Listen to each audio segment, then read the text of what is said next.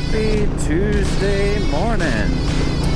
Um, so I got my little writing buddy over there. Hi, me, Shadow. Uh, um, so it's Tuesday morning, heading into work, and um, last night was actually a good night.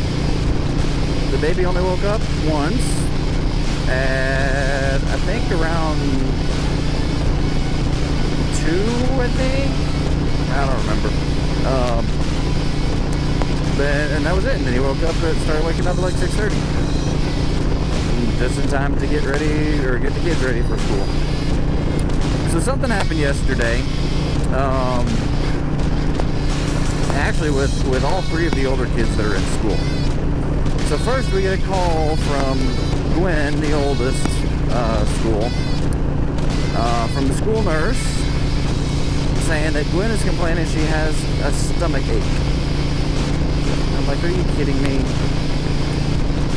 So the morning she woke up, she was in a bad mood. She was saying, I don't want to go to school. She woke up the night before and, you know, at like 1.30 and said she couldn't go to sleep until after 3. So she was tired. She was looking for excuse to go home my wife asked and I was like, do I need to come pick her up? And the nurse said, well, no. She does not have any of your symptoms. She doesn't have a fever. She doesn't have a cough. She doesn't have anything else. She's just complaining she has a sore stomach. We just wanted to let you know we're not ignoring her. Oh, okay, cool. Um, and then later we found out that, um, so two things with Anna. Yeah, the three-year-old. Uh, somebody in the, one of the three-year-old classes um, was exposed to someone who tested positive. So, as long as that kid doesn't test positive, they won't shut down the school. But we're like, well, all right, here it comes. And then we um, then we get a call or a text about a kid in Alex's class, he's the five-year-old, who is getting tested. And if that comes back positive, the class will be quarantined. So we are a grand total of one week and this is one week and two days into school.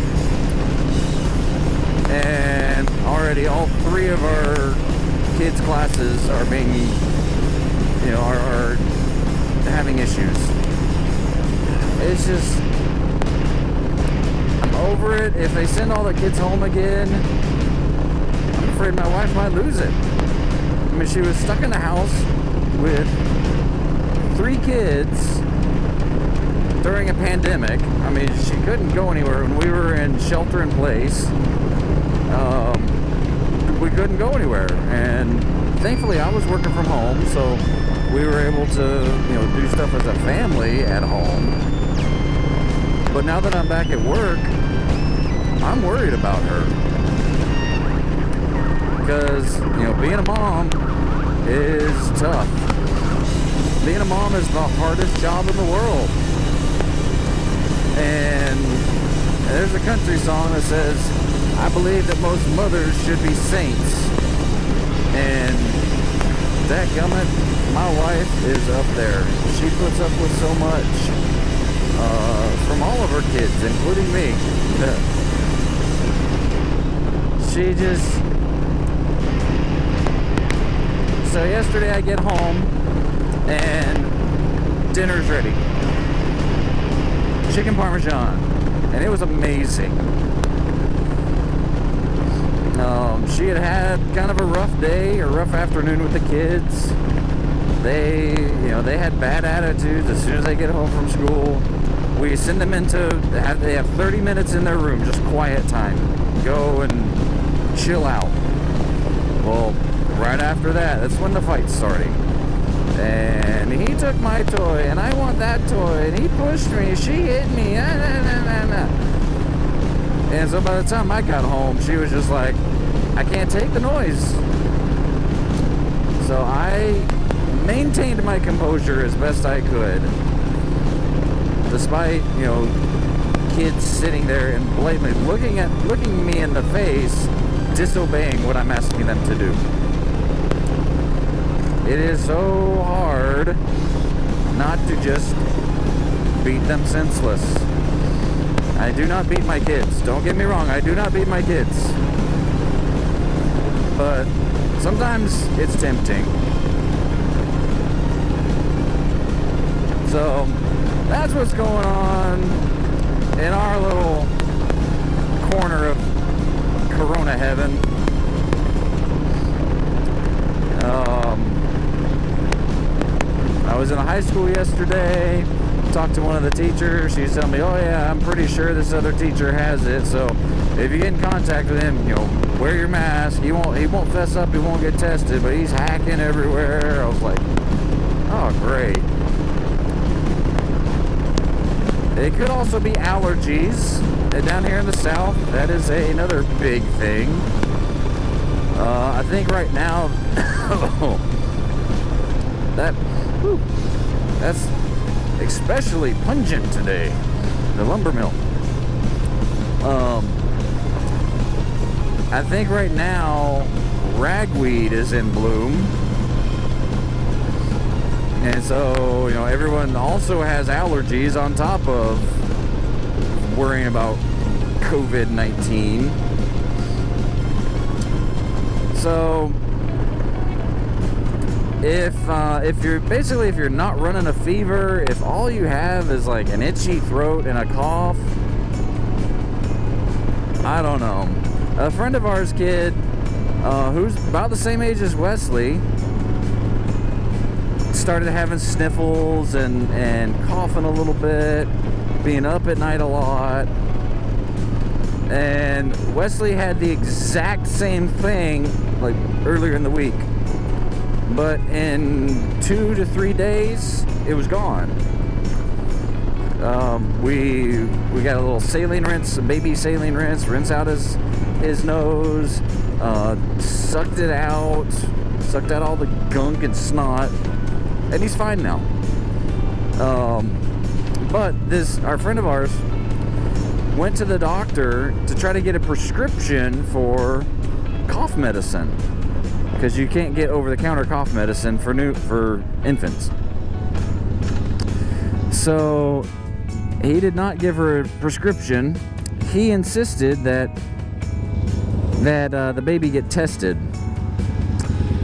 So this kid's older sibling, ugh, this kid's older sibling who's in school has to go home and get tested as well and can't go back to school until that test comes back negative. We're like, sounds the exact same as Wesley. Hmm, watch out, Mr. Bicyclist. And so, I, I don't know. And down here, especially, if you go like if you go to CVS to get tested, you could be waiting two weeks for your results. And it, so it's just it's just ridiculous. I just I just hope and pray that they don't make our kids get tested. Because if our kids get tested, then I gotta go home. I can't go to work. And we've got uh, we've got classes coming up because we teach in the school our 4-H club meetings, and um, you know, starting starting in the next couple weeks, we'll be in the schools every month. So if you know if I get sent home, then I, it's I don't know what's gonna happen. Oh, so living in this pandemic is not for the faint of heart, for sure. I am waiting for the day that it is over with, that the fear, either either the either the either the virus just straight up goes away and it dies, whatever, or that people just get over it, go and live their life if they are sick, wear a mask. Stay inside. Stay away if you're sick.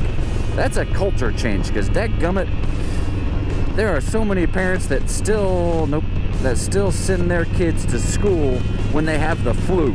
Are you freaking kidding me? So, one positive I think this is that's going to come out of this is change the American culture. If you are sick, freaking stay at home. Can I get an amen? Because you don't know what other people have. When Anna was was a baby, um, a big uh, a big threat to her life. It was a virus called RSV. Um, I forget what it stands for.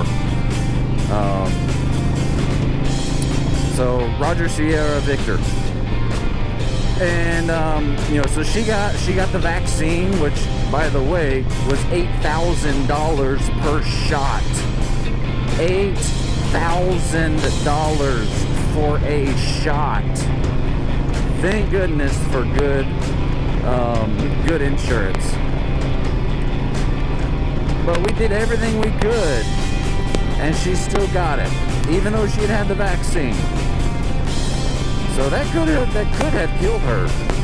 But thankfully we did have the vaccine, and it wasn't as bad as it could have been, and we caught it early. All because somebody sent their kid to school when they were sick. So, if your kid's sick, keep them home, parents. End of story. But I am going to be so thankful when we can get together with friends again, when I can go to the store again and not be looking at other people and wonder, do they have it? Do they have it? And when when the media and the politicians quit using it as a weapon to spread fear, that will be a good day. So sorry about my soapbox. Started off nice and innocent, but ended up on my soapbox again. Um, hope y'all have a great day. Remember to be excellent to each other. While you're doing that, remember to party on, dudes. It's Tuba Billy signing out. God be with you till we meet again.